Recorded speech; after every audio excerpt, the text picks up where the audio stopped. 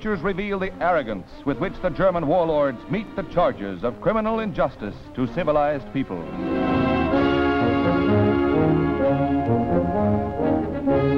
Prosecutor Robert Jackson of the United States opens the trial with a strong indictment of the defendants. I come to the discussion of terrorism and the preparation for the war. How a government treats its own inhabitants generally is thought to be no concern of other governments or of international society. Certainly, few oppressions or cruelties would warrant the intervention of foreign powers. But the German mistreatment of Germans is now known to pass in magnitude and savagery any limits that is tolerable by modern civilization. Other nations, by silence, would take a consenting part in such crimes. These Nazi persecutions, however, take character as international crimes because of the purpose for which they were undertaken. The purpose, as we have seen, of getting rid of the influence of free labor, the churches, and the Jews was to clear their obstruction to the participation, precipitation of aggressive war. If aggressive warfare in violation of treaty obligation is a matter of international cognizance, the preparations for it must also be of concern to the international community. Terrorism was the chief instrument for securing the cohesion of the German people in war purposes. Moreover, these cruelties in Germany served as atrocity practice to discipline the membership of the criminal organizations to follow the pattern later in occupied countries. Through these police organizations and formations that are before you accused as criminal organizations, the Nazi Party leaders, aided at some point in their basic and notorious purpose by each of the individual defendants, instituted a reign of terror. These espionage and police organizations were utilized to hunt down every form of opposition and to penalize every nonconformity. These organizations early founded and administered concentration camps. Buchenwald in 1933 and Dachau in 1934. And Dachau lies but a few miles from here and but a few hours' drive. And we hope this tribunal will visit this place and see the magnitude of the layout which goes with a concentration camp and the implements of torture that remain. But these notorious names were not alone. Concentration camps came to dot the German map and to number scores. At first, they met with resistance from some Germans. We have captured a we have a captured letter from Minister of Justice Gürtner to Hitler, which is revealing of this. a Gestapo official had been persecuted, prosecuted, prosecuted for crimes committed in one of these camps, and the Nazi governor of Saxony had promptly asked that the proceedings be quashed. The Minister of Justice, greatly to his credit, in June of 1935, this was, protested.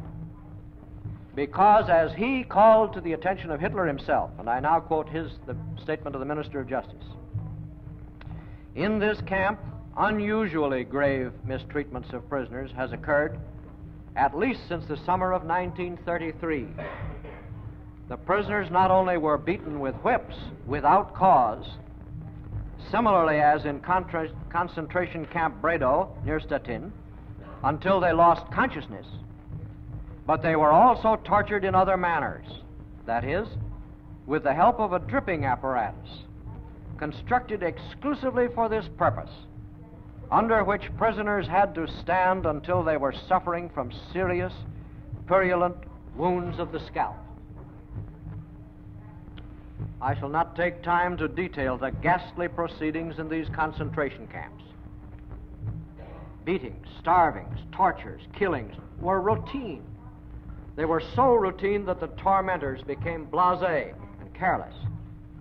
We will show you a discovery that one night In one of these camps, 186 persons was executed when they only had orders to execute 180. And another report describes how they made a mistake and sent two urns to a family where there was only one victim. The inmates were compelled to execute each other. In 1942, they were paid five Reichsmarks per execution. But on June 27, 1942, SS General Glücks ordered commandants of all concentration camps to reduce this honorarium to three cigarettes. In 1943, the Reichsleader of the SS and Chief of German Police ordered the corporal punishment on Russian women to be applied by Polish women, and vice versa. But the price was not frozen. He said, as a reward, a few cigarettes was authorized.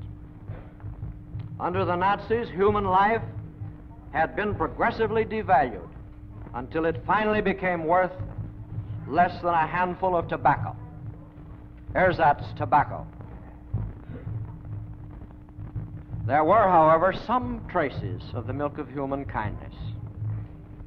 On August the 11th, 1942, an order went from Himmler to the commanders of 14 concentration camps that, and I quote, only German prisoners are allowed to beat other German prisoners.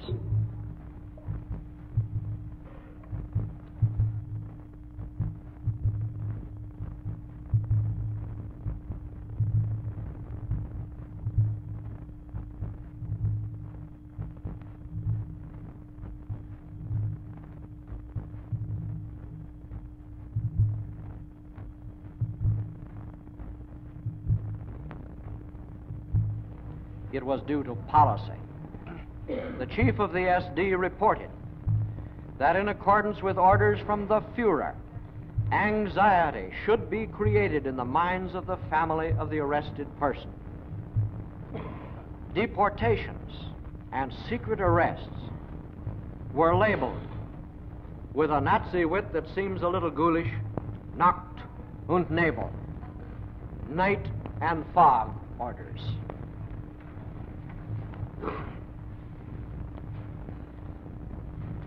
On the 2nd of February 1942, an order was issued for the chief of the Wehrmacht High Command in which the uh, fields were advised that this decree carries a basic innovation the Fuhrer and Commander in Chief of the Armed Forces. Commands. That crimes of the specified sort committed by civilians of the occupied territories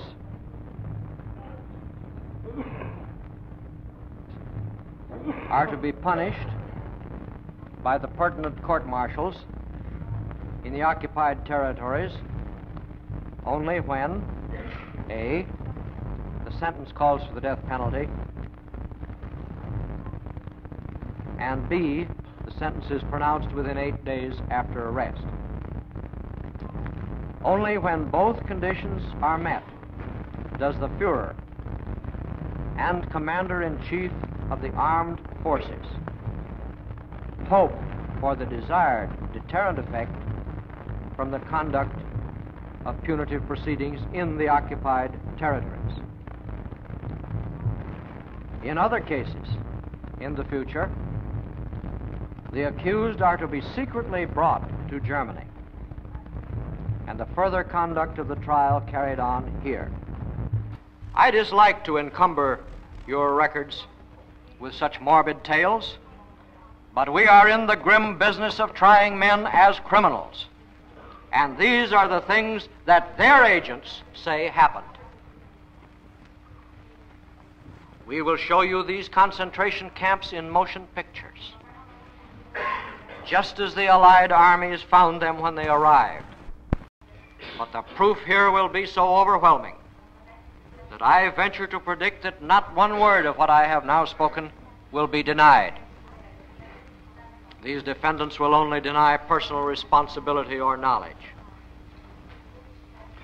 Under the clutch of the most intricate web of espionage and intrigue that any modern state has endured, and persecution and torture of a kind that has not been visited upon the world in many centuries, the elements of the German population, which were both decent and courageous, were annihilated. Those which were decent but weak were intimidated. Open resistance, which had never been more than feeble and irresolute, disappeared. But resistance, I am happy to say, always remained, although it was manifest in only such events as the abortive effort to assassinate Hitler on July 20th, 1944.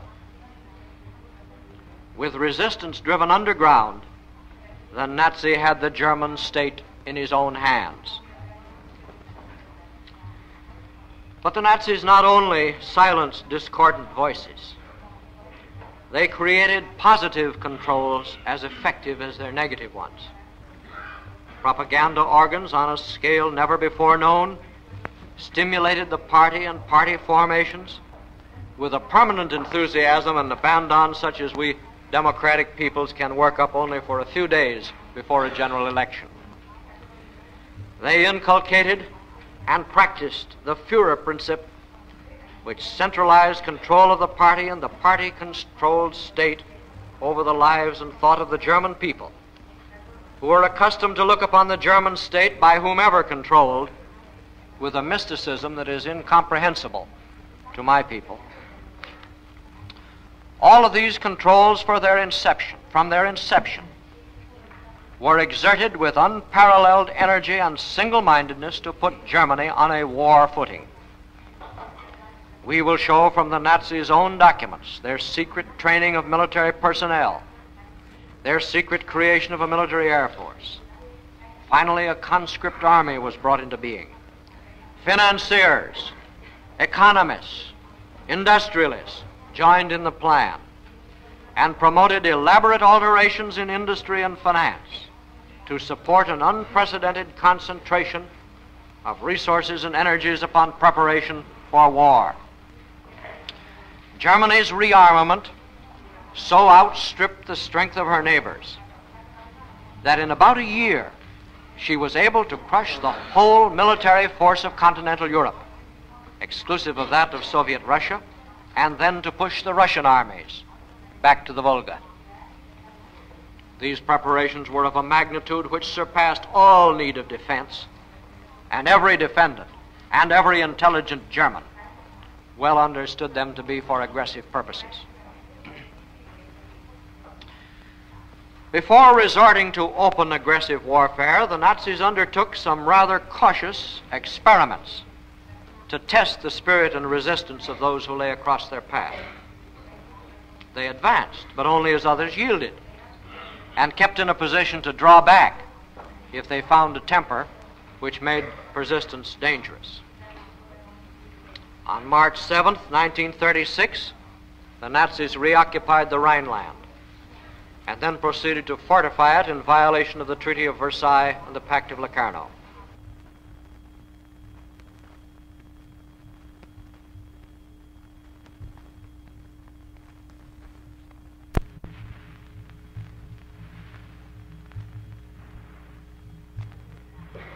They encountered no substantial resistance and were emboldened to take the next step, which was the acquisition of Austria. Despite repeated assurances that Germany had no designs on Austria, invasion was perfected. Threat of attack forced Schuschnigg to resign as Chancellor of Austria and put the defendant, Seyss-Inquart, in his place. The latter immediately opened the frontier and invited Hitler to invade Austria to preserve order. On March 12th, the invasion began. The next day, Hitler proclaimed himself chief of the Austrian state, took command of its armed forces, and a law was enacted annexing Austria to Germany. Threats of aggression had succeeded without arousing resistance. Fears, nevertheless, had been stirred.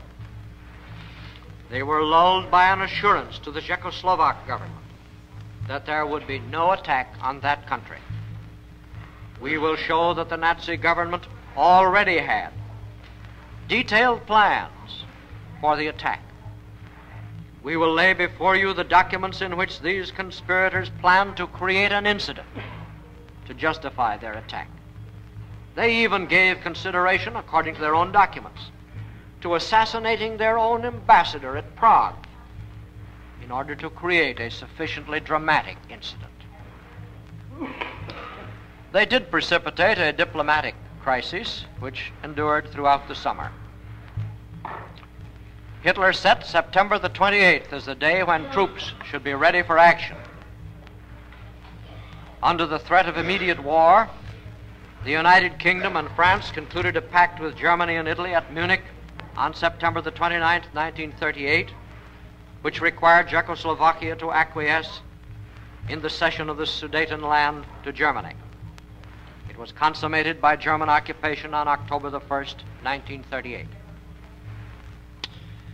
The Munich Pact pledged no further aggression against Czechoslovakia, but the Nazi pledge was lightly given and quickly broken. On the 15th of March, 1939, in defiance of the Treaty of Munich itself, the Nazis seized and occupied Bohemia and Moravia, which constituted the major part of Czechoslovakia not already ceded to Germany. Once again, the West stood aghast, but it dreaded war, and it saw no remedy except war, and it hoped against hope that the Nazi fever for expansion had run its course. But the Nazi world was intoxicated by these unresisted successes in open alliance with Mussolini and in covert alliance with Franco. Then, having made a deceitful and delaying peace with Russia, the conspirators entered upon the final phase to renew world war. I am not going to prolong this address by detailing the steps leading to the war of aggression, which began with the invasion of Poland on September 1st, 1939. The further story will be unfolded to you by the British delegation from documents including those of the German High Command itself. I speak only of the conspiracy aspects of the aggression. The plans had been laid long in advance. As early as 1935, Hitler appointed the defendant Schacht to the position of General Deputy for the war economy. We have the diary of General Jodl, the Plan Otto, Hitler's own order for attack on Austria in case trickery failed, the Plan Green, which was the blueprint for attack on Czechoslovakia, the plan for the war in the West, Funk's letter to Hitler in August 25, 1939, detailing the long course of economic preparation for war.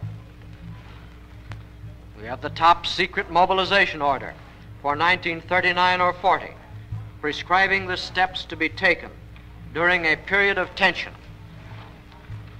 as it was described, during which no state of war will be publicly declared, even if open war measures against the enemy will be taken.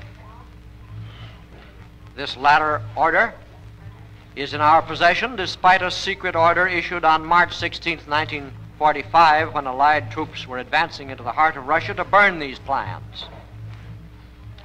We have also Hitler's directive dated December 18, 1940, for the Barbarossa contingency, which was a code name outlining the strategy of the attack on Russia. We have detailed And that plan, in the original, bears the initials of the defendants Keitel and of Jodl. They were planning the attack and planning it long in advance of the declaration of war. We have detailed information concerning the case White, which is the plan for the attack on Poland. That began the war. This was in June the 14th. The attack did not come until September.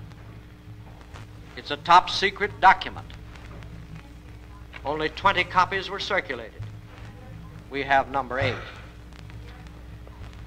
It starts The Commander in Chief of the Army has ordered the working out of a plan of deployment against Poland, which takes in account the demands of political leadership for the opening of the war by surprise and for quick successes.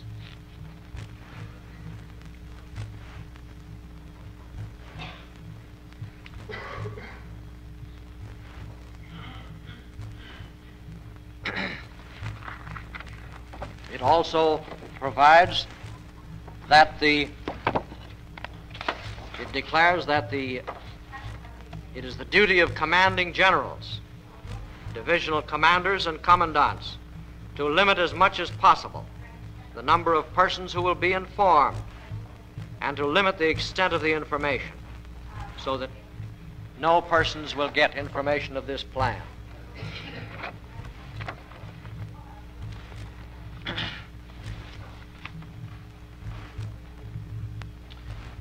We also have the order for the attack on England, initialed again by Keitel and Jodl.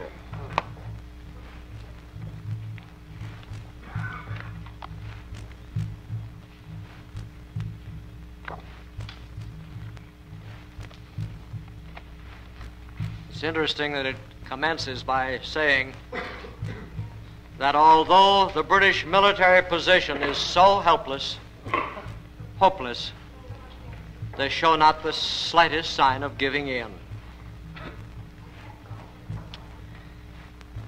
As early as November 5th, 1937, Hitler told the defendants Goering, Raeder, and Neurath, among others, that German rearmament was practically accomplished and that he had decided to secure by force, starting with a lightning attack on Czechoslovakia and Austria, greater living space for Germans in Europe no later than 1943 to 5 and perhaps as early as 1938. Not the least incriminating are the minutes of Hitler's own meetings with his high advisers, which we have.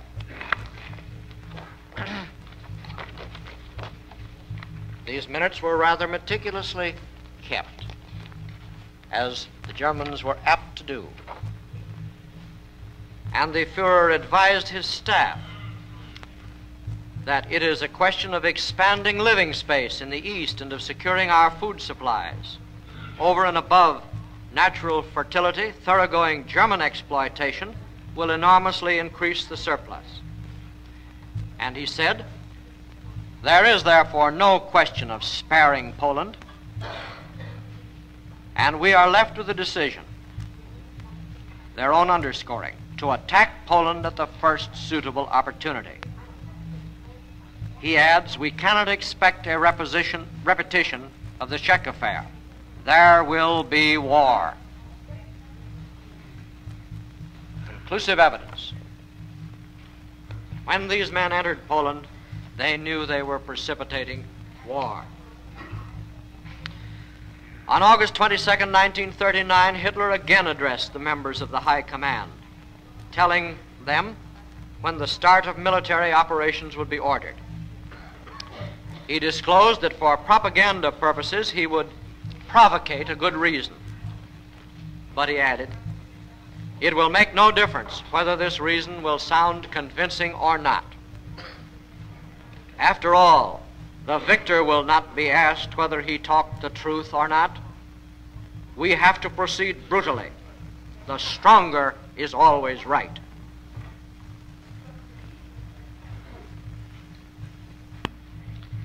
It was at all times utterly hopeless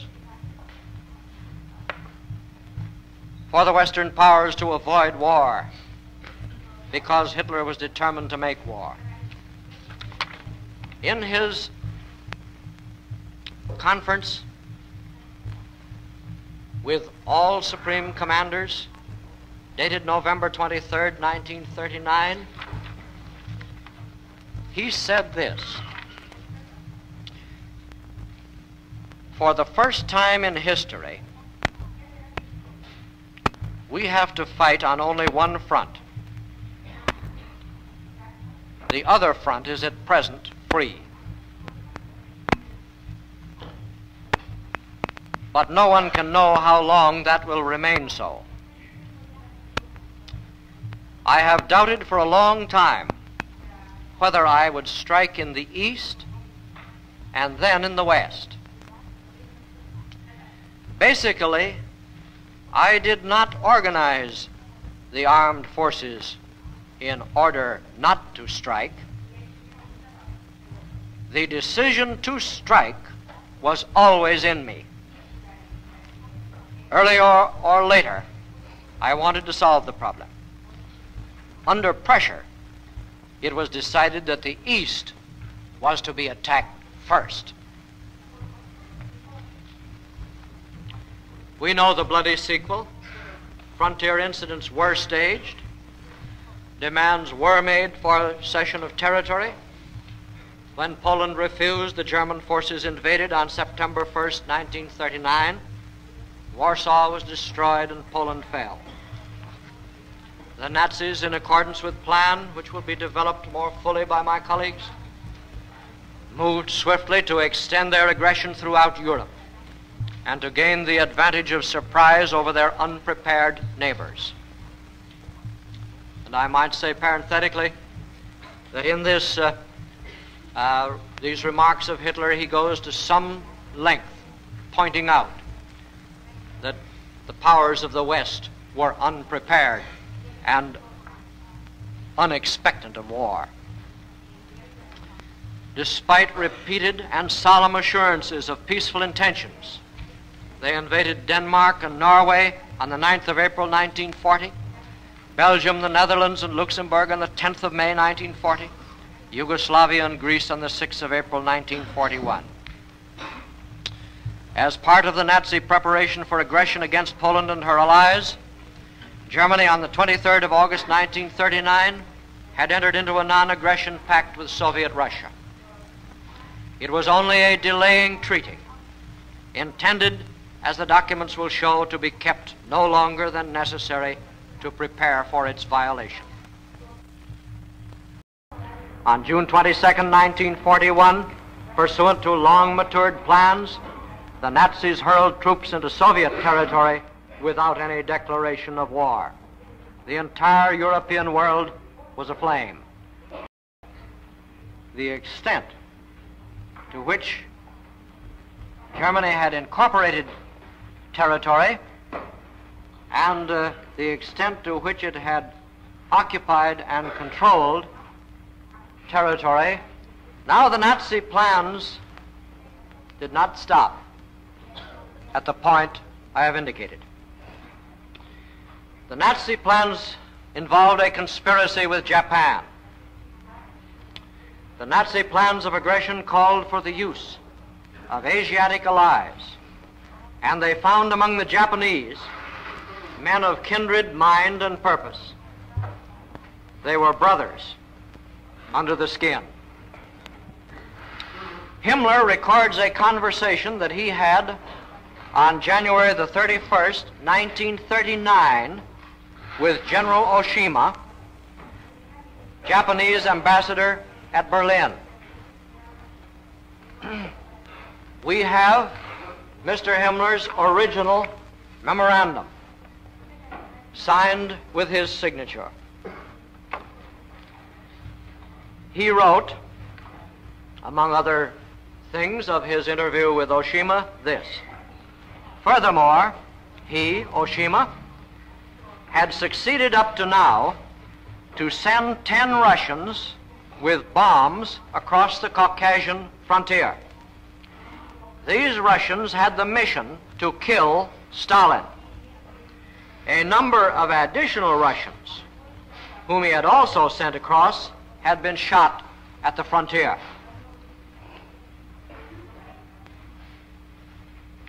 Exchanging secrets with the Japanese.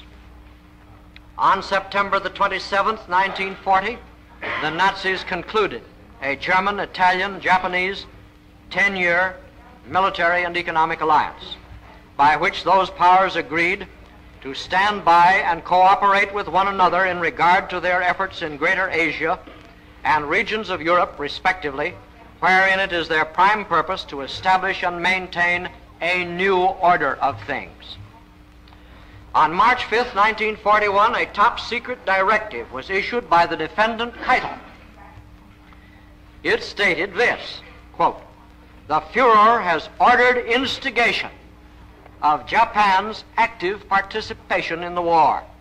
And it directed, quoting again, Japan's military power has to be strengthened by the disclosure of German war experiences and support of a military, economic, and technical nature has to be given.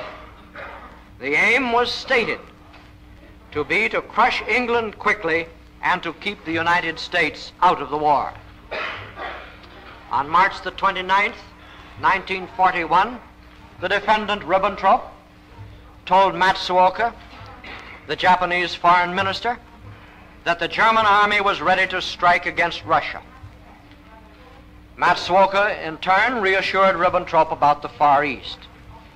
Japan, he reported, was acting at the moment as though she had no interest whatever in Singapore, but, quoting, intends to strike when the right moment comes.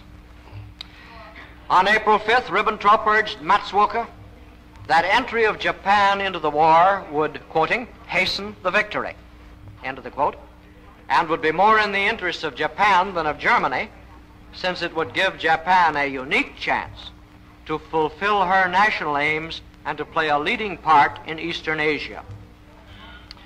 The proofs in this case will also show that the leaders of Germany were planning a war against the United States from its Atlantic, as well as instigating it from its Pacific approaches. A captured memorandum from the Fuhrer's headquarters, dated October the 29th, 1940, signed by General Falkenstein, asks certain information as to air bases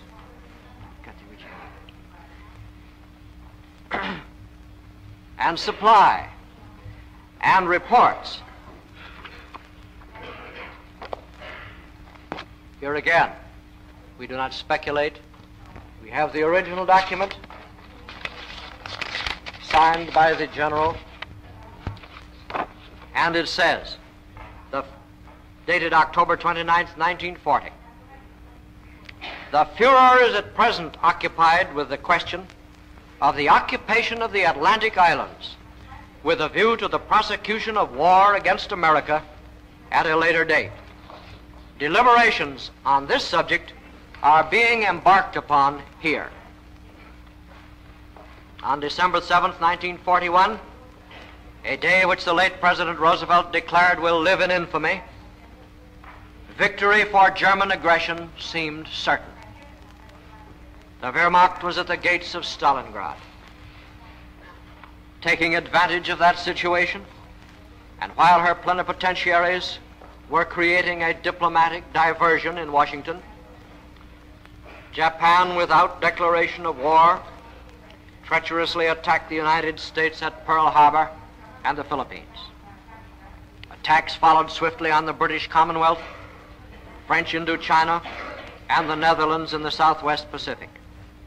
These aggressions were met in the only way that they could be met with instant declarations of war and with armed resistance, which mounted slowly through many long months of reverse until finally the Axis was crushed to earth and deliverance for its victims was won. May it please your honors, I will now take up the subject of crimes in the conduct of the war. Even the most warlike of peoples have recognized in the name of humanity some limitations on the savagery of warfare. Rules to that end have been embodied in international conventions to which Germany became a party. This code had prescribed certain restraints as to the treatment of belligerents. The enemy was entitled to surrender and to receive quarter and good treatment as a prisoner of war. We will show by German documents that these rights were denied, that prisoners of war were given brutal treatment and often murdered.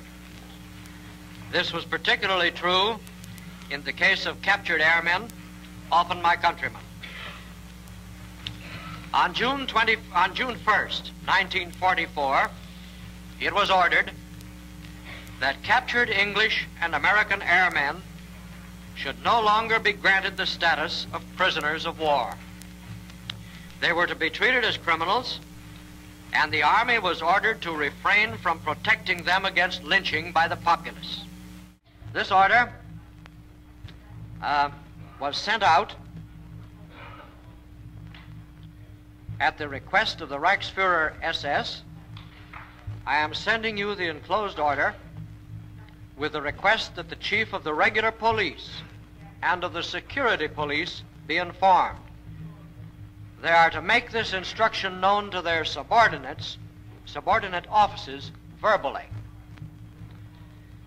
It is not the task of the police to interfere in clashes between Germans and English and American terror flyers who have bailed out.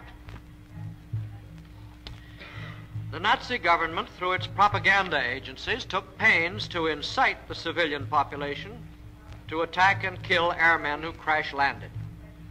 Similarly, we will show Hitler's top secret order that commandos, regardless of condition, were to be killed to the last man. In that case, we have the uh, original documents with the Fuhrer's signature attached.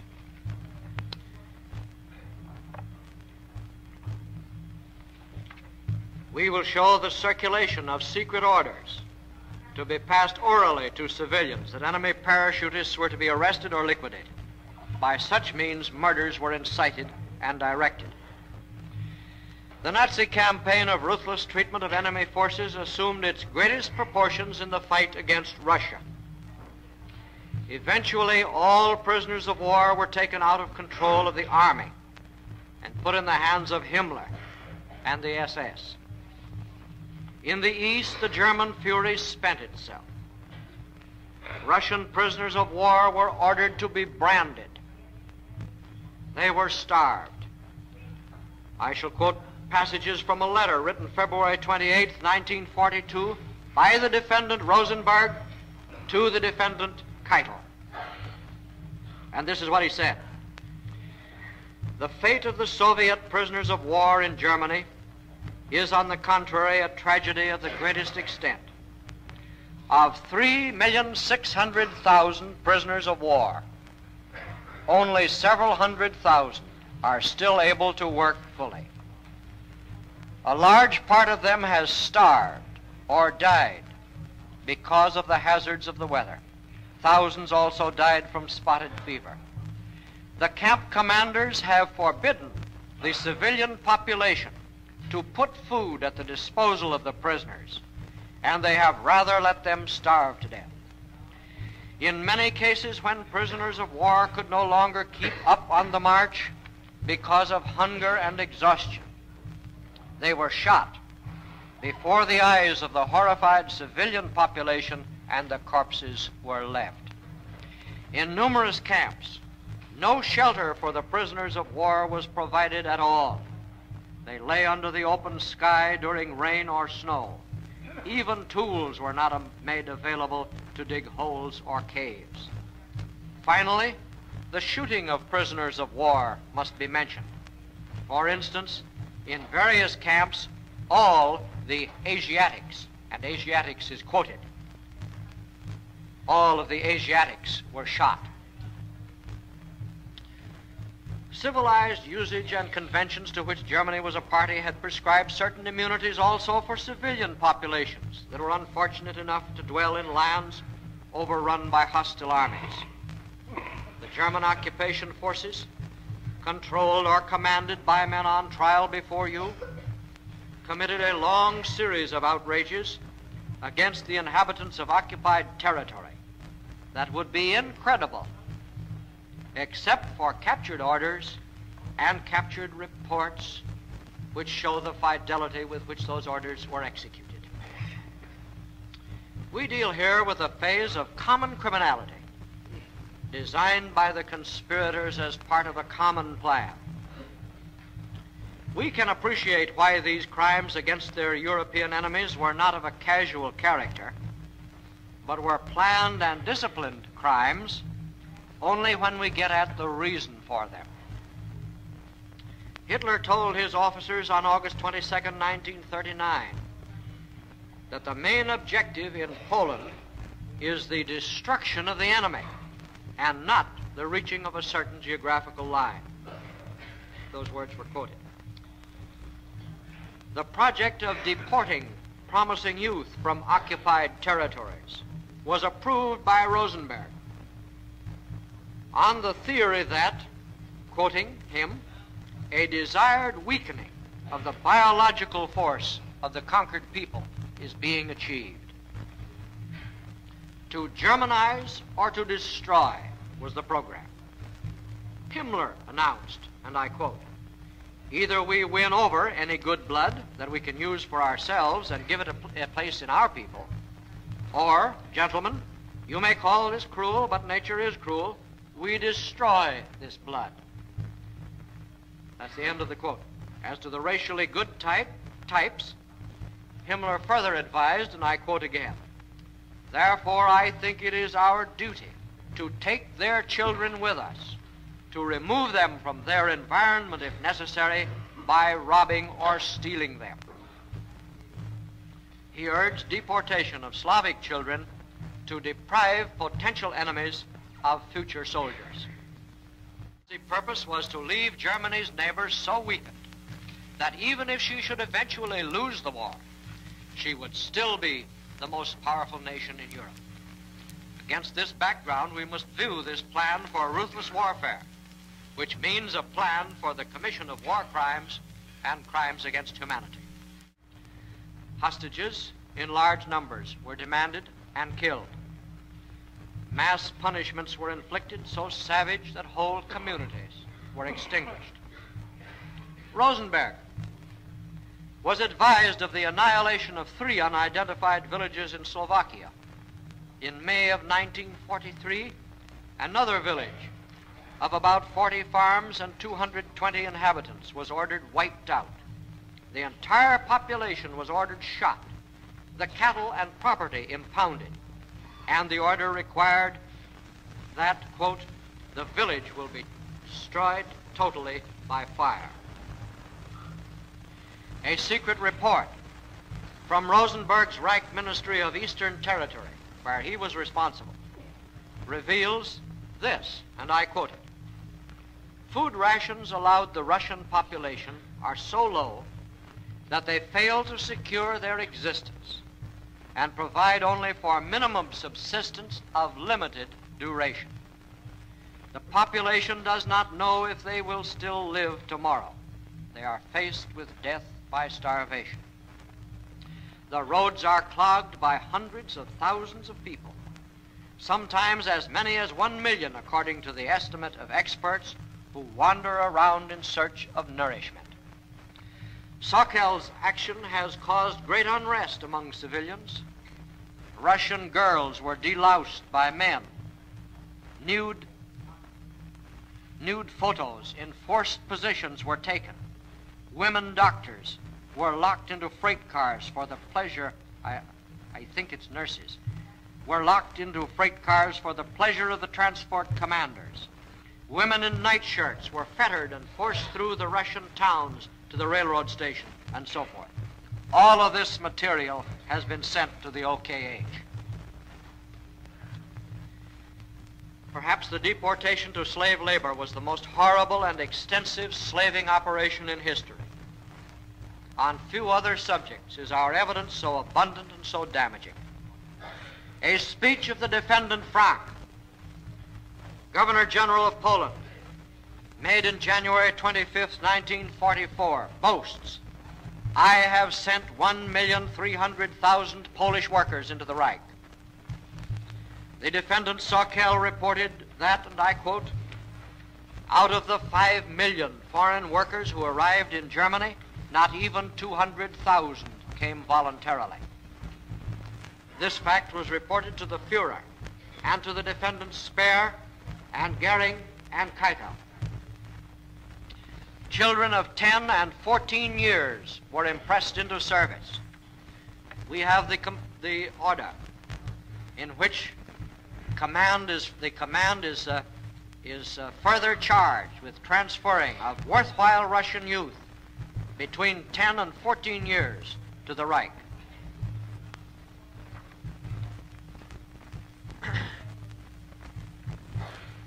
When enough slave labor was not forthcoming, prisoners of war were forced into war work in flagrant violation of international conventions. Slave labor came from France, Belgium, Holland, Italy, and the East. Methods of recruitment were violent. Treatment of these slave laborers was stated in general terms, not difficult to translate into concrete deprivations. In a letter to the defendant Rosenberg, from the defendant Sauckel, it is stated, all the men, prisoners of war and foreign civilian workers must be fed, sheltered, and treated in such a way as to exploit them to the highest possible extent at the lowest conceivable degree of expenditure. It doesn't take uh, much imagination to translate that order into action.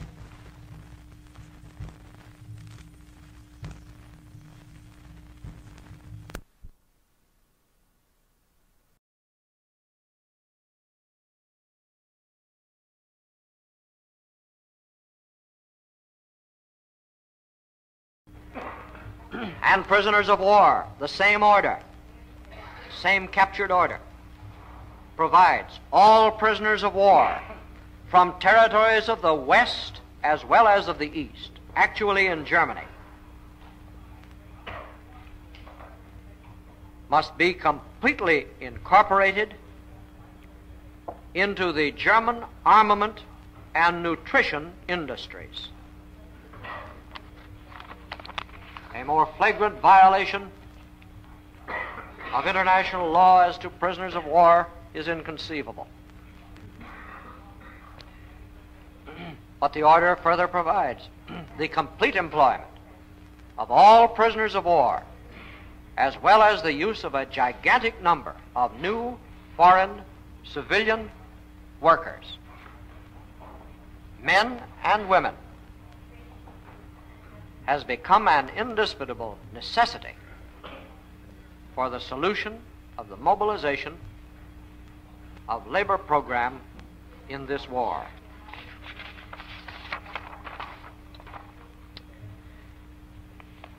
In pursuance of the Nazi plan, permanently to reduce the living standards of their neighbors and to weaken them physically and economically, a long series of crimes were committed. There was extensive destruction, serving no military purpose of the property of civilians. Dikes were thrown open in Holland almost at the close of the war, not to achieve military ends, but to destroy the resources and retard the economy of the thrifty Netherlanders. There was carefully planned economic siphoning off of the assets of occupied countries. An example of the planning is shown by a report on France dated December the 7th, 1942, made by the Economic Research Department of the Reichsbank. The question arose whether French occupation costs should be increased from 15 million Reichsmarks per day to 25 million Reichsmarks per day. The Reichsbank analyzed French economy to determine whether it could bear the burden. It pointed out that the armistice had burdened France to that date to the extent of 18.5 billion Reichsmarks equaling 370 billion francs. It pointed out that the burden of these payments within two and a half years equaled the aggregate French national income in the year 1940, and that the amount of payments handed over to Germany in the first six months of 1942 corresponded to the estimate for the total French revenue for that year. The report concluded, and I quote, In any case, the conclusion is inescapable that relatively heavier tributes have been imposed on France since the armistice in June 1940 than upon Germany after the World War. In this connection, it must be noted, still quoting, that the economic powers of France never equaled those of the German Reich, and that vanquished France could not draw on foreign economic and financial resources in the same degree as Germany after the last war. That is the end of the quote. The defendant Funk was the Reich's Minister of Economics and President of the Reichsbank that made that report. The defendant Ribbentrop was Foreign Minister. The defendant Goering was plenipotentiary for the four-year plan. And all of them participated in this exchange of views of which this captured document is a part. Notwithstanding this analysis for the Reichsbank, they proceeded to increase the imposition on France from 10 million daily to 25 million Reichsmarks per day. It is small wonder that the bottom has been knocked out of French economy. The plan and purpose of the thing appears in a letter from General Stülpnagel head of the German Armistice Commission, to the defendant Jodl as early as September 1940 when he wrote these words. The slogan, quote, systematic weakening of France, has already been surpassed by far in reality.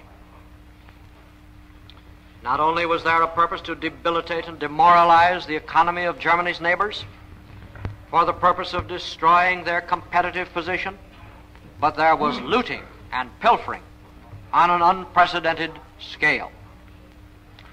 We do not need to be hypocritical about this business of looting. I recognize that no army moves through occupied territory without some pilfering as it goes. Usually, the amount of pilfering increases as discipline wanes exactly the contrary with the German army. If the evidence in this case showed no looting except from lack of discipline, I certainly would ask no conviction of these defendants for it. But we will show you that looting was not due to lack of discipline or to the ordinary weaknesses of human nature. The German organized plundering, planned it, disciplined it, and made it official, just as he organized everything else.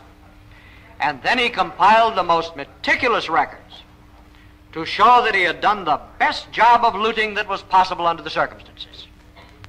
And we have those records.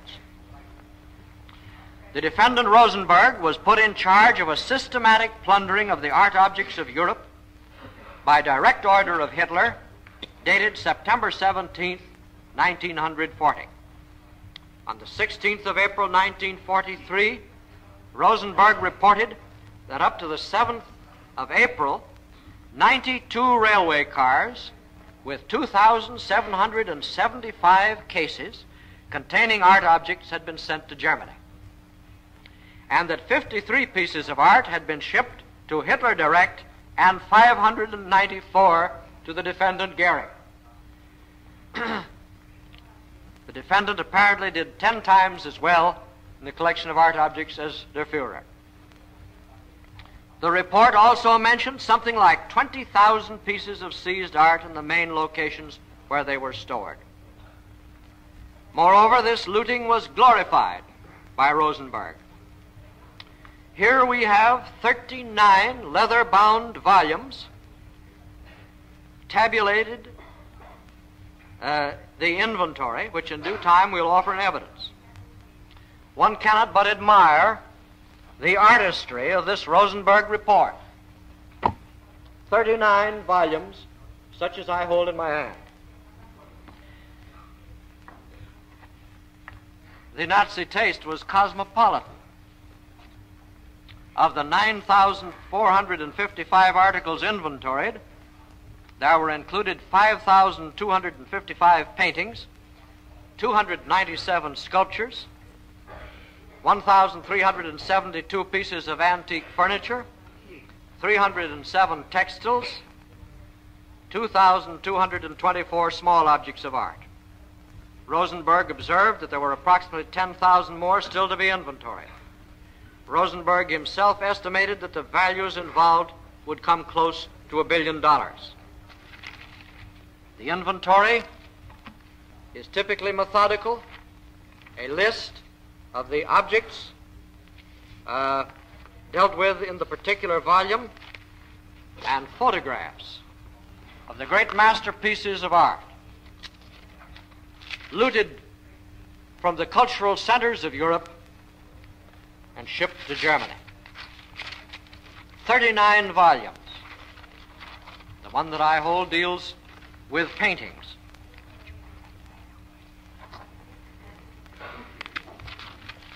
Sculpture, likewise.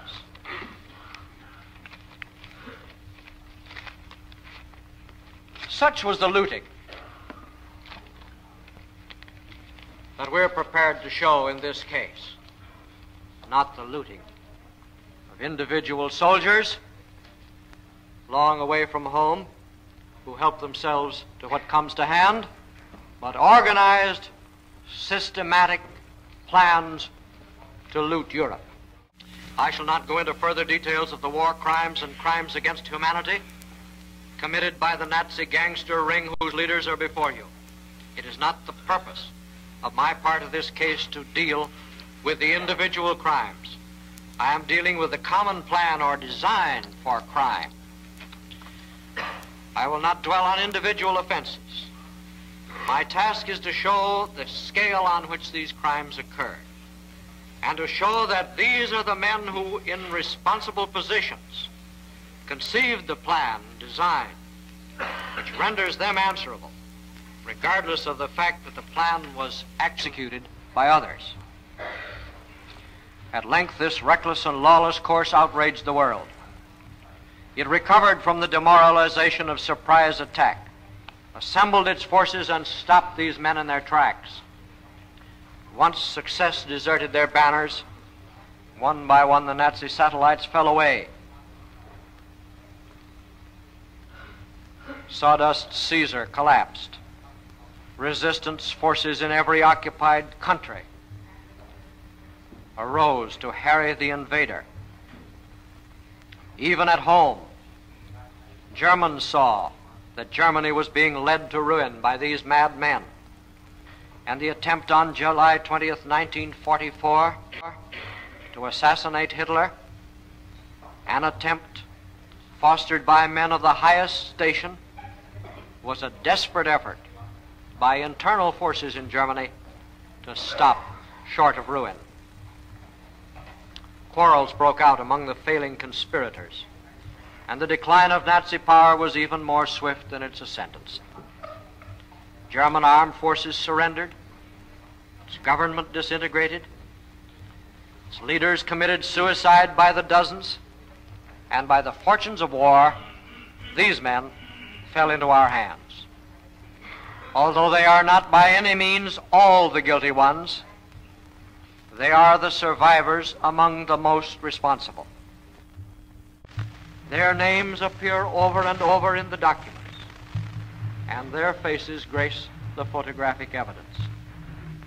We have here the surviving top politicians, militarists, financiers, diplomats, administrators, and propagandists of the Nazi movement. Who was responsible for these crimes if they were not? The end of the war and the capture of these prisoners presented the victorious Allies with the question whether there is any legal responsibility on high-ranking men for acts which I have described.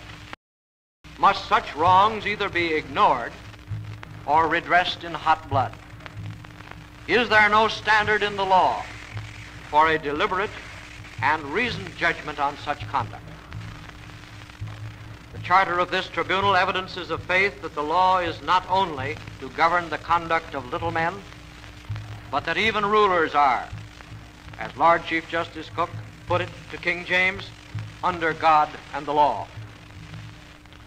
The United States believe that the law long has afforded standards by which a juridical hearing could be conducted, to which we could make sure, so that we could make sure that we punish only the right men and for the right reasons.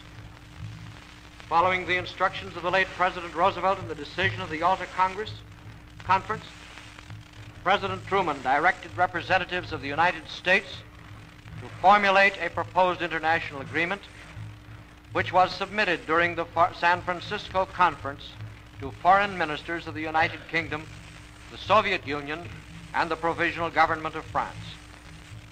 With many modifications, that proposal has become the charter of this tribunal.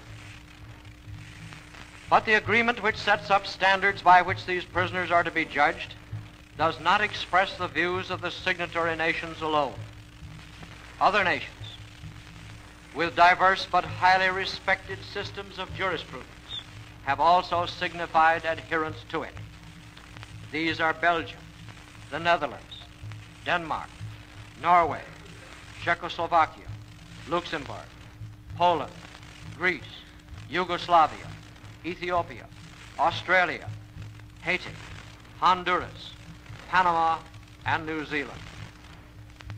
You judge, therefore, under an organic act which represents the wisdom, the sense of justice, and the will of 19 governments representing an overwhelming majority of all civilized people.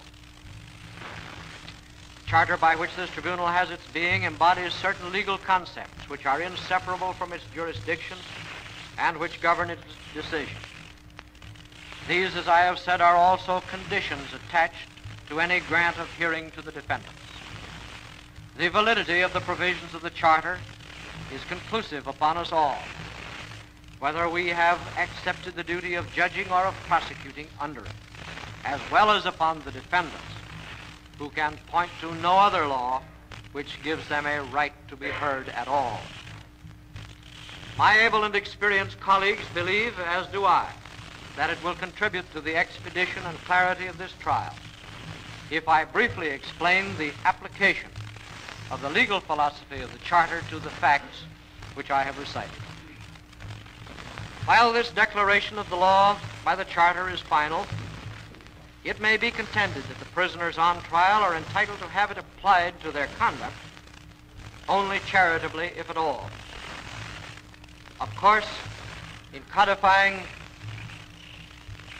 into a few paragraphs, many questions of application must be left unsolved. It may be said that this is new law, not authoritatively declared at the time they did the act it condemns, and that this declaration of law has taken them by surprise. I cannot, of course, deny that these men are surprised that this is the law. They really are surprised that there is any such thing as law. These defendants did not rely on any law at all. Their program ignored and defied all law. That this is so will appear from many acts and statements of which I cite but a few. I have already called your attention to the Fuhrer's remark before invading Poland that the victor is never asked whether he spoke the truth. In his speech to all military commanders on November 23rd, he reminded them that at the moment Germany had a pact with Russia. But he declared, agreements are to be kept only as long as they serve a certain purpose. Later in the same speech, he announced, a violation of the neutrality of Holland and Belgium will be of no importance. A top secret document entitled Warfare as a Problem of Organization dispatched by the Chief of the High Command to all commanders on April 19, 1938, declared that, quoting, the normal rules of law toward neutrals must be considered to apply on the basis whether operation of rules will create greater advantages or disadvantages for the belligerents. And from the files of the German Navy staff, we have a memorandum on intensified naval warfare dated October 15, 1939, which begins by stating a desire to comply with international law. However, it continues, if decisive successes are expected from any measure considered as a war necessity, it must be carried through even though it is not in agreement with international law. International law, natural law, German law, any law at all, was to these men simply a propaganda device to be invoked when it helped and to be ignored when it would condemn what they wanted to do. That men may be protected in relying upon the law at the time they act is the reason that we find laws of retrospective operations sometimes unjust. But these men cannot bring themselves within the reason of the rule which in some systems of jurisprudence prohibits ex post facto laws. They cannot show that they ever relied upon international law in any state or paid it the slightest regard. The third count of the indictment is based on the definition of war crimes contained in the Charter. I have outlined to you the systematic course of conduct towards civilian populations and combat forces which violates international conventions to which Germany was a party. Of the criminal nature of these acts, at least, the defendants had, as we shall show, the clearest knowledge. Accordingly, they took pains to conceal their violations. It will appear that the defendants Keitel and Jodl were informed by official legal advisers that the orders to brand Russian prisoners of war, to shackle British prisoners of war, and to execute commando prisoners were clear violations of international law. Nevertheless, these orders were put into effect. Same is true of orders issued for the assassination of General Giraud and General Weygand, which failed to be executed only because of a ruse on the part of Admiral Canaris, who was himself later executed for his part in the plot to take Hitler's life on July 20th, 1944. Fourth count of the indictment is based on crimes against humanity. Chief among these are mass killings of countless human beings in cold blood. Does it take men by surprise that murder is treated as a crime?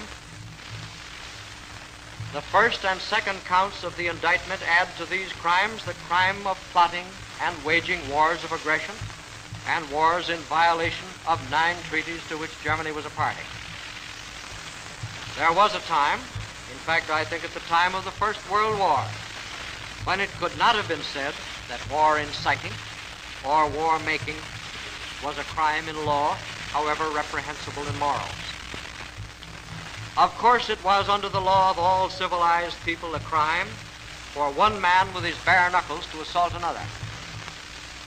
How did it come that multiplying this crime by a million and adding firearms to bare knuckles made it a legally innocent act? The doctrine was that one could not be regarded as criminal for committing the usual violent acts in conduct of legitimate war. The age of imperialistic expansion during the 18th and 19th century added the foul doctrine, contrary to the teachings of early Christian and international law scholars such as Grotius, that all wars are to be regarded as legitimate wars. The sum of these two doctrines was for a time to give war making a complete immunity from accountability to law. This was intolerable for an age that called itself civilized. Plain people with their earthy common sense revolted at such fictions and legalisms, so contrary to ethical principles, and demanded checks on war immunities. Statesmen and international lawyers at first cautiously responded by adopting rules of warfare designed to make the conduct of war more civilized. The effort was to set legal limits to the violence that could be done to civilian populations and to combatants as well. The common sense of men after the First World War demanded, however, that the law's condemnation reach much deeper. and that the law condemn not merely uncivilized ways of waging war, but also the waging in any way of uncivilized wars, wars of aggression. The world statesmen again went only as far as they were forced to go. Their efforts were timid and cautious, and often less explicit than we might have hoped. But the 1920s did outlaw aggressive war. The reestablishment of the principle that there are unjust wars and that unjust wars are illegal is traceable in many steps. One of the most significant is the Briand-Kellogg Pact of 1928, by which Germany, Italy, and Japan, in common with practically all the nations of the world, renounced war as an instrument of national policy, found themselves to seek the settlement of disputes only by pacific means, and condemned recourse to war for the solution of international controversies. This pact altered the legal status of a war of aggression. As Mr. Stimson, the United States Secretary of State, put it in 1932, such a war of aggression is no longer to be the source and subject of rights. It is no longer to be the principle around which the duties, the conduct, and the rights of nations revolve. It is an illegal thing. By that very act, said Secretary Stimson, speaking on behalf of the United States, we have made obsolete many legal precedents and have given the legal profession the task of re-examining many of its codes and treaties. The Geneva Protocol of 1924 for the Pacific settlement of international disputes, signed by the representatives of 48 governments, declared that a war of aggression constitutes an international crime. The Eighth Assembly of the League of Nations in 1927, on unanimous resolution of the representatives of 48 member nations, including Germany, declared that a war of aggression constitutes an international crime. At the Sixth Pan American Conference of 1928, the 21 American republics unanimously adopted a resolution stating that war of aggression constitutes an international crime against the human species.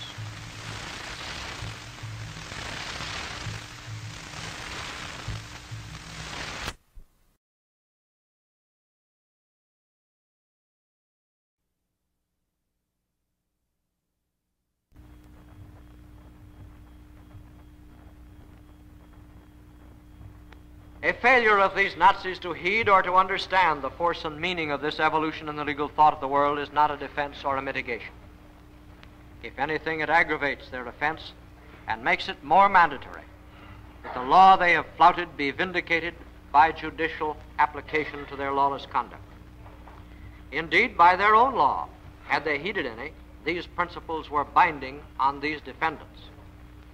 Article 4 of the Weimar Constitution provided that the generally accepted rules of international law are to be considered as binding integral parts of the law of the German Reich.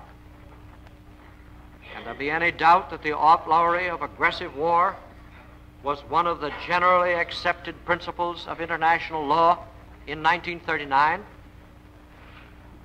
Any resort to war, any kind of war, is a resort to means that are inherently criminal as means. War inevitably is a course of killings, assaults, deprivations of liberty, and destruction of property. An honestly defensive war is, of course, legal and serves those, saves those lawfully conducting it from criminality. But inherently criminal acts cannot be defended by showing that those who committed them were engaged in a war which was itself illegal. The very minimum legal consequence of the treaties making aggressive wars illegal is to strip those who incite or wage them of every defense which the law ever gave and to leave war makers subject to judgment by the usually accepted principles of the law of crimes. But if it be thought that the Charter, whose declarations conceitedly bind us all, does contain new law, I still do not shrink from demanding its strict application by this tribunal. The rule of law in the world, flouted by lawlessness incited by these defendants, had to be restored at the cost to my country of over a million casualties, not to mention those of other nations. I cannot subscribe to the perverted reasoning that society may advance and strengthen the rule of law by the expenditure of morally innocent lives, but that progress in the law may never be made at the price of morally guilty lives. It is true, of course, that we have no judicial precedent for this charter. But international law is more than a scholarly collection of abstract and immutable principles. It is an outgrowth of treaties and agreements between nations and accepted customs. Yet every custom has its origin in some single act, and every agreement has to be initiated by the action of some state. Unless we are prepared to abandon every principle of growth in international law, we cannot deny that our own day has the right to institute customs and to conclude agreements that will themselves become sources of a newer and strengthened international law. International law is not capable of development by the normal processes of legislation, for there is no continuing international legislative authority. Innovations and revisions in international law are brought about by the actions of governments, such as those I have cited, designed to meet a change in circumstances. It grows as did the common law, through decisions reached from time to time in adapting settled principles to new situations. The fact is that when the law evolves by the case method, as did the common law and the international law must do, if it is to advance at all, it does advance at the expense of those who wrongly guessed the law and learned too late their error. The law, so far as international law can be decreed, has been clearly announced when these acts took place. Hence, we are not disturbed by the lack of a judicial precedent for the inquiry which it is proposed to conduct. The events I have earlier recited clearly fall within the standards of crime set out in the Charter, whose perpetrators this tribunal is convened to judge and, if guilty, to punish fittingly. The standards for war crimes and crimes against humanity are too familiar to need comment. There are, however, certain novel problems in applying other precepts of the Charter which I should call to your attention. A basic provision of the Charter is that to plan, prepare, initiate, or wage a war of aggression, or a war in violation of international treaties, agreements, or assurances, or to conspire or participate in a common plan to do so is a crime. It is perhaps a weakness in this charter that it fails to define a war of aggression. Abstractly, the subject is full of difficulty, and all kinds of troublesome hypothetical cases can be conjured up. It is a subject which, if the defense should be permitted to go afield beyond the very narrow charge in the indictment would prolong the trial and involve us in insoluble political issues. But so far as the question can properly be involved in this case, the issue is one of no novelty and is one on which legal opinion has well crystallized. One of the most authoritative sources of international law on this subject is the Convention for the Definition of Aggression, signed at London on July 3, 1933, by Romania, Estonia, Latvia, Poland, Turkey, the Soviet Union, Persia, and Afghanistan. The subject has also been considered by international committees and by commentators whose views are entitled to the greatest respect. It had been little discussed prior to the First World War, but has received much attention as international law has evolved its outlawry of aggressive war. In the light of these materials of international law, and so far as it is relevant to this case, I suggest that an aggressor is generally held to be that state which is the first to commit any of the following actions. One, a declaration of war upon another state. Two, invasion by its armed forces, with or without a declaration of war of the territory of another state. Three, attack by land, naval, or air forces, with or without a declaration of war on the territory, vessels, or aircraft of another state.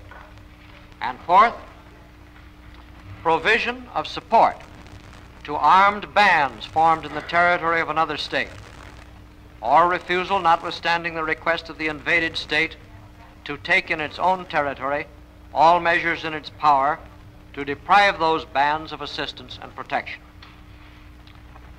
And I further suggest that it is the general view that no political, military, economic, or other considerations shall serve as an excuse or justification for such aggressive actions. But of course, the exercise of the right of legitimate self defense, that is to say, resistance to an act of aggression, or action to assist a state which has been subjected to aggression, shall not, of course, constitute a war of aggression. It is upon such an understanding of the law that our evidence of conspiracy to provoke and wage an aggressive war is prepared and presented. By this test, each of the series of wars begun by these Nazi leaders was unambiguously aggressive. It is important to the duration and scope of this trial that we bear in mind the difference between our charge that this war was one of aggression and a position that Germany had no grievances. We are not inquiring into the conditions which contributed to causing the war.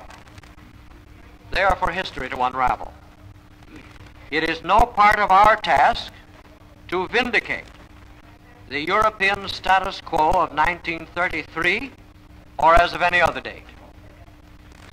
The United States does not desire to enter into discussion of the complicated pre-war currents of European politics, and it hopes that this trial will not be protracted by their consideration. The remote causations avowed are too insincere and inconsistent, too complicated and doctrinaire to be the subject of profitable inquiry in this trial. A familiar example is to be found in the Lebensraum slogan, which summarized the contention that Germany needed more living space as a justification for expansion. At the same time that the Nazis were demanding more space for the German people, they were demanding more German people to occupy space. Every known means to increase the birth rate, legitimate and illegitimate, were utilized. Lebensraum represented a vicious circle of demand from neighbors more space, and from Germany, more progeny. We need not investigate the verity of such doctrines which lead to constantly expanding circles of aggression. It is the plot and the act of aggression which we charge to be crimes. Our position is that whatever grievances a nation may have, however objectionable it finds the status quo, Aggressive warfare is not a legal means for settling those grievances or for altering those conditions. It may be that the Germany of the 1920s and 30s faced desperate problems, problems that would have warranted the boldest measures short of war. All other methods, persuasion, propaganda, economic competition, diplomacy, were open to an aggrieved country, but aggressive warfare was outlawed. These defendants did make aggressive war, a war in violation of treaties. They did attack and invade their neighbors in order to effectuate a foreign policy which they knew could not be accomplished by measures short of war. And that is as far as we propose or need to inquire because that is as far as we accuse. The Charter also recognizes individual responsibility on the part of those who commit acts defined as crimes or who incite others to do so, or who jo- join a common plan with other persons, groups, or organizations to bring about their commission. The principle of individual responsibility for piracy and brigandage, which have long been recognized as crimes punishable under international law, is old and well established. That is what illegal warfare is. This principle of personal liability is a necessary as well as a logical one if international law is to render real help to the maintenance of peace. An international law which operates only on states can be enforced only by war because the most practicable method of coercing a state is warfare. Those familiar with American history know that one of the compelling reasons for adoption of our Constitution was that the laws of the Confederation, which operated on constituent states, were found ineffective to maintain order among them. The only answer to recalcitrance was omnipotence, I- impotence, or war. Only sanctions which reach individuals can peacefully and effectively be enforced. Hence, the principle of the criminality of aggressive war is implemented by the Charter with the principle of personal responsibility. Of course, the idea that a state, any more than a corporation, commits a crime is a fiction. Crimes always are committed only by persons. While it is quite proper to employ the fiction of responsibility of a state or corporation for the purpose of imposing a collective liability, it is quite intolerable to let such a legalism become the basis of a personal immunity. The Charter recognizes that one who has committed criminal acts may not take refuge in superior orders, nor in the doctrine that his crimes were acts of state. These twin principles, working together, have heretofore resulted in immunity for practically everyone concerned in the really great crimes against peace and mankind. Those in lower ranks were protected against liability by orders of their superiors. The superiors were protected because their orders were called acts of state. Under the Charter, no defense based on either of these doctrines can be entertained. Modern civilization puts unlimited weapons of destruction in the hands of its statesmen. It cannot tolerate so vast an area of legal irresponsibility. Even the German military code provides, and I quote, if the execution of a military order in the course of duty violates the criminal law, then the superior officer giving the order will bear the sole responsibility therefor. However, the obeying subordinate will share the punishment of the participant. One, if he has exceeded the order given to him, or two, if it was within his knowledge that the order of his superior officer concerned an act by which it was intended to commit a civil or military crime or transgression. Of course, we do not argue that the circumstances under which one commits an act should be disregarded in judging its legal effect. A conscripted private on a firing squad cannot be expected to hold an inquest on the validity of the execution.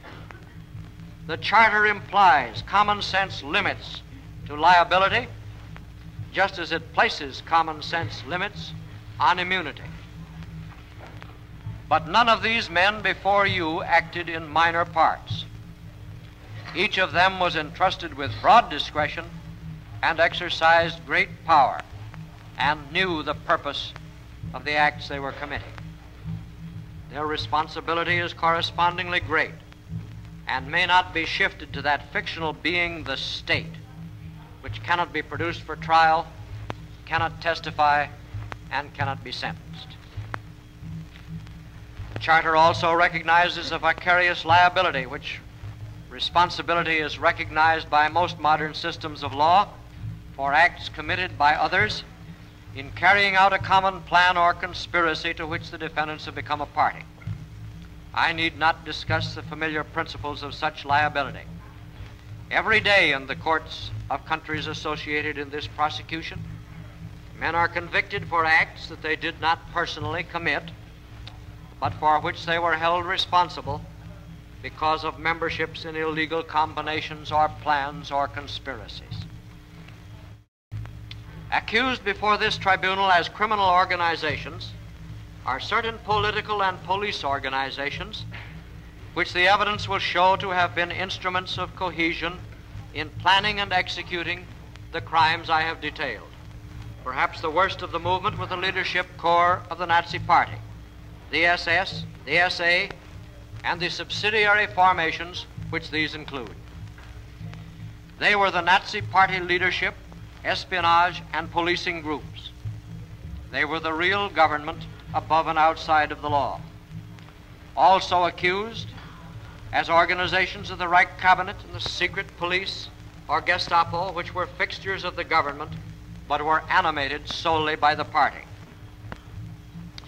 Except for a late period when some compulsory recruiting was done in the SS, membership in all of these militarized organizations was voluntary. The police organizations were recruited from ardent partisans who enlisted blindly to do the work the leaders planned. The Reich Cabinet was the governmental facade for Nazi Party government, and in its members, legal as well as actual responsibility was vested for the program. Collectively, they were responsible for the program in general. Individually, they were responsible for particular segments of it. The finding which we ask you to make that these are criminal organizations will subject members to punishment to be hereafter determined by appropriate tribunals unless some personal defense, such as becoming a member under duress, under threat to the person or to family, or inducement by false representation or the like, can be established. Every member will have a chance to be heard in the subsequent forum on his personal relation to the organization.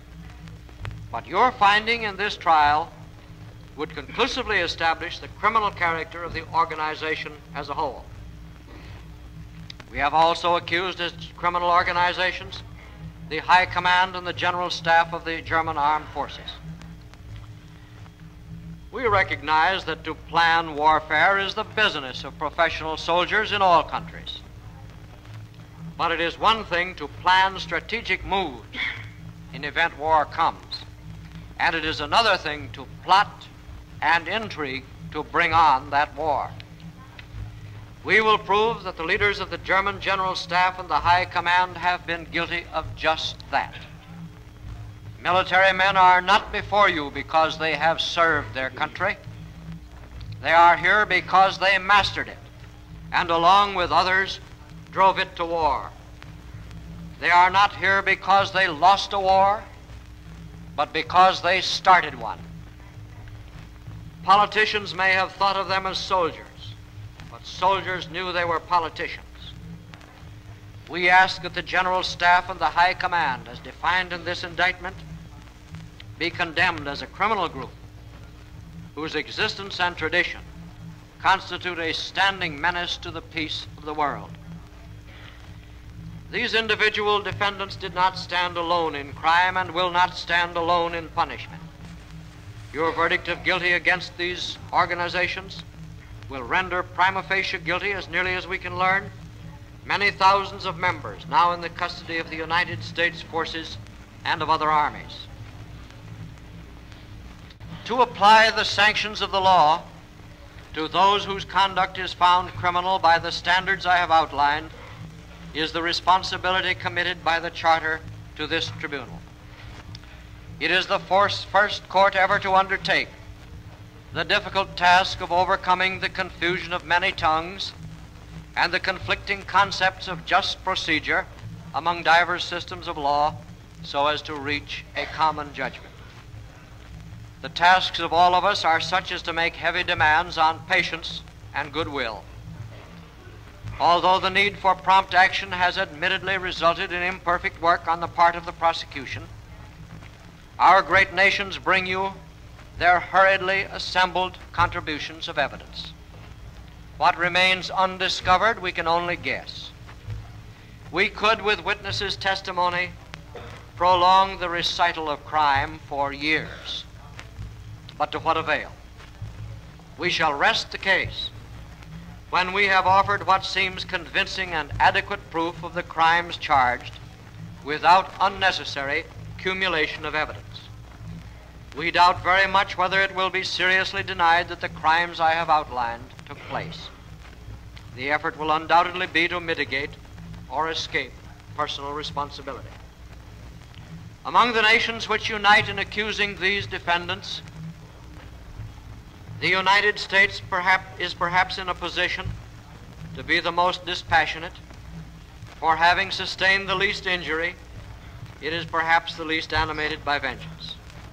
Our American cities have not been bombed by day and by night by humans and by robots. It is not our temples that have been laid in ruins. Our countrymen have not had their homes destroyed over their heads.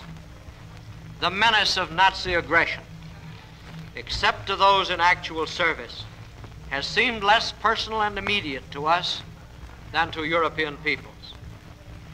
But while the United States would not be first in rancor, it is not second in determination that the forces of law and order be made equal to the task of dealing with such international lawlessness as I have recited here. Twice in my lifetime, the United States has sent its young manhood across the Atlantic, drained its resources, and burdened itself with debt to help defeat Germany.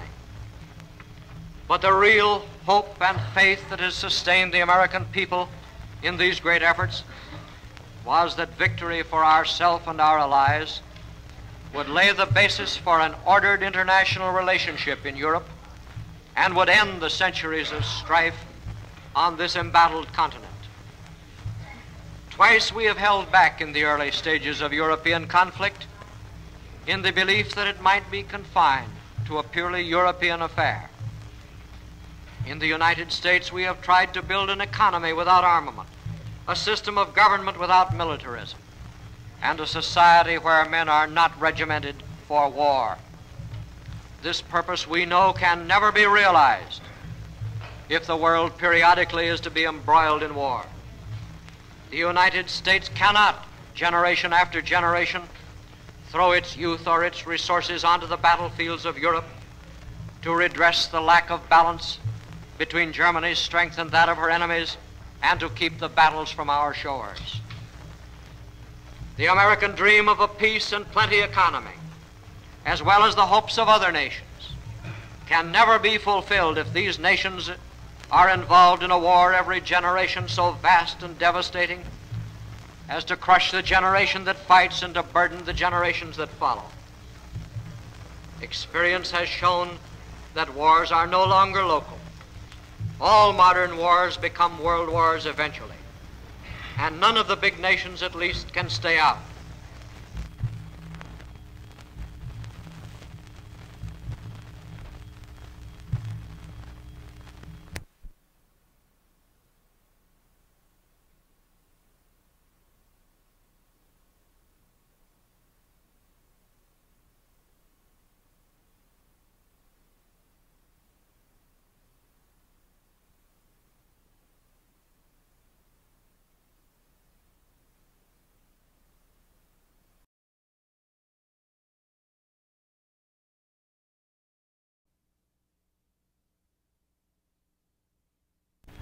If we cannot stay out of wars, our only hope is to prevent wars. I am too well aware of the weakness of juridical action alone to contend that in itself your decision under this charter can prevent future wars. Judicial action always comes after the event.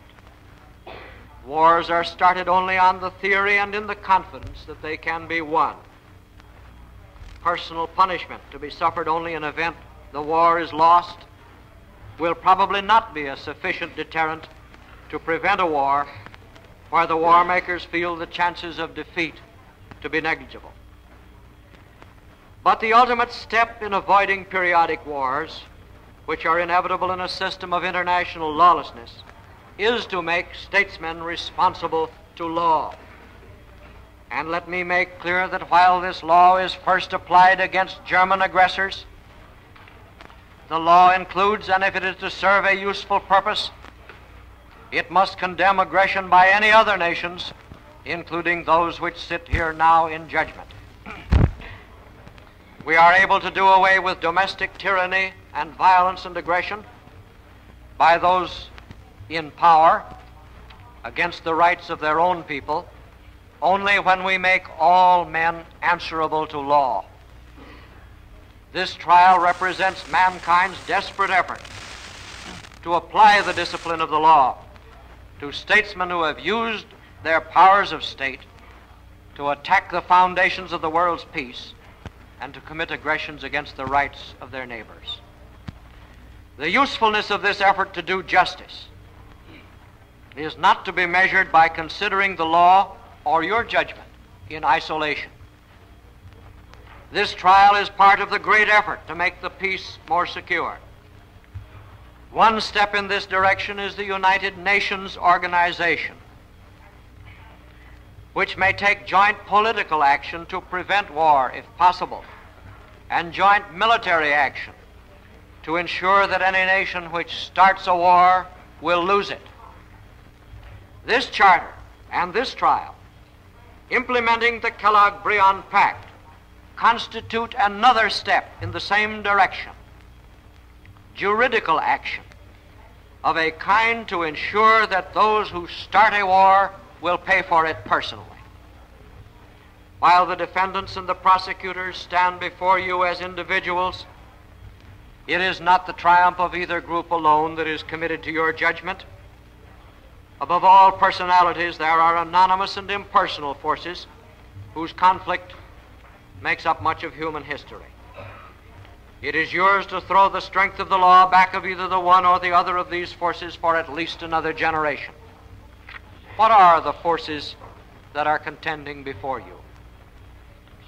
No charity can disguise the fact that the forces which these defendants represent, the forces that would advantage and delight in their acquittal, the forces with which they have identified themselves and whose crimes they have committed, are the darkest and most sinister forces in society dictatorship and oppression, malevolence and passion, militarism and lawlessness. By their fruits we best know them. Their acts, as we shall recount them before you, have bathed the world in blood and set civilization back a century.